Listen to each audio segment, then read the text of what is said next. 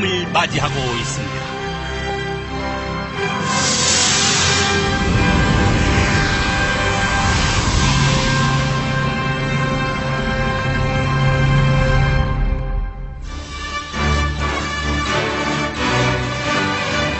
(2005년 9월 10일) 미국 뉴욕 링컨 센터에서 창설된 천주평화연합은 기존 유엔의 한계를 극복하고 하나님을 중심으로 하는 21세기 평화운동의 시발점이었습니다.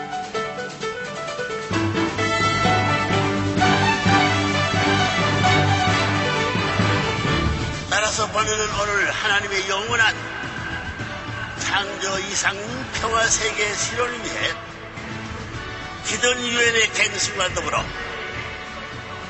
새로운 차원에서 세계 이상세계 평화 이상세계 왕국의 기능을 발휘할 수 있는 새로운 국제기구의 창설을 전 인류 앞에 선포하는 바입니다.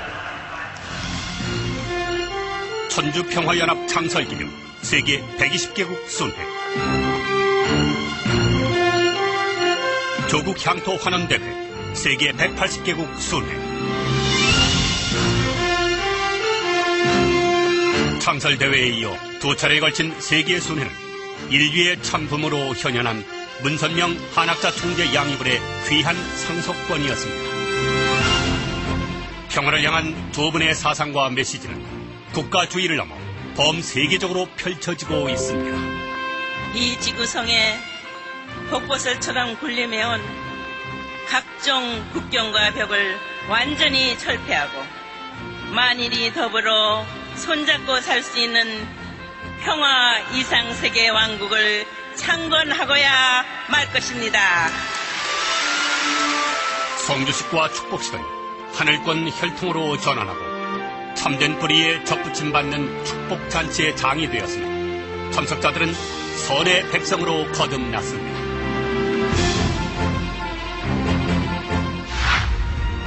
순회 강연 중 스위스 제네바에서 열린 제4차 몽골 반점 동족권 세계평화연합 세계대회에서 전 세계 평화 대사들이 평화군과 평화경찰로 떨쳐 일어났습니다. 또한 대통령과 장관 등 세계의 지도자들도 적극 동참하며 평화 대사로서 세계 평화 구현에 앞장설 것을 다짐했습니다. 전운이 감도는 중동 지역에서조차도 평화의 메시지는 끊이지 않았습니다. 정치나 종교의 벽을 헐어내고 모두가 하나의 사상 아래 일심 단결해 인류 평화의 기적을 만들어내고 있는 것입니다. 태풍으로 인한 재난 지역에 후호기금을 전달하고 교육, 의료 등 사회 기반 시설이 부족한 제3국가를 지원하는 등 세계 곳곳에 참사랑의 불씨를 지피고 있습니다. 세계 순회의 여정은 3대가 하나 되어 진행됐습니다. 문선명 한학사 총재, 그리고 양이분의 참가정 자녀들과 손주까지. 3대가 하나 되어 선포한 평화의 메시지는 세계 지도자들의 이목을 집중시켰고 큰 파장을 불러일으키고 있습니다.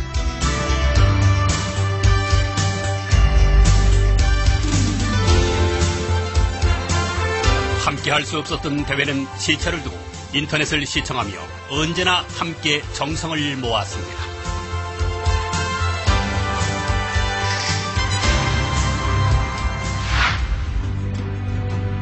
냉전 체제의 대립과 붕괴로 혼란스러웠던 20세기 말 무지와 모리에로 인해 치러야만 했던 여섯 번의 옥군은 하늘을 향한 문총재의 믿음을 더욱 확고하게 만들었고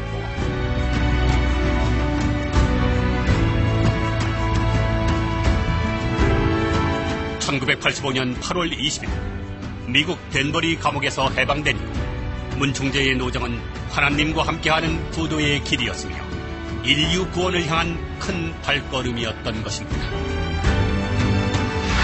양이번의 끊임없는 노력은 2004년 평화의 왕 대관식과 2006년 입궁식을 통해 만국 만인 만상이 우러르는 평화의 왕으로 등극하는 영광을 일궈냈습니다. 그토록 서글펐던 고난과 고통의 신음이 온 만민의 존경과 환호 속에 승리의 팡파레로 울려 퍼졌던 것입니다. 승리와 안착의 시대 속에 모든 것을 상속받기 위한 노력이 다각도로 진행되고 있습니다. 종친 세미나와 축복 수련, 원리 세미나 등 원리를 배우며 하나님의 뜻과 사상을 이해하고 2년 전부터 시행되어 온 국가 지도자 세미나는 평화 통일 시대의 새로운 가치관으로 무장한 인재를 양성하고 있습니다.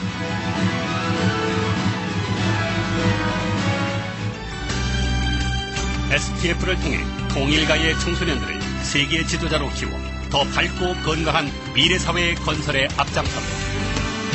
오는 10월 미국과 북한 등 8개국 여자 축구 대표팀이 참가하는 여자 피스컵이 개최되는 등 문화, 예술, 종교, 스포츠, 레저 산업까지 곳곳에 배어 있는 문총재 양이분의 평화 사상은 이제 상속과 발전을 통해 사회 저변에 뿌리 내리고 있습니다.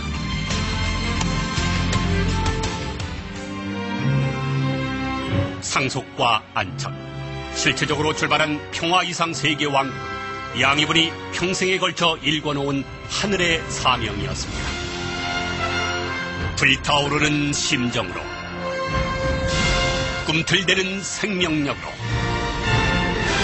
뜨거운 열정을 가슴에 품고, 천명을 겸허히 나의 뜻으로 만듭시다. 말씀과 축복을 완전히 상속받읍시다. 영원한 평화 이상 세계 왕국을 향해 전진합시다.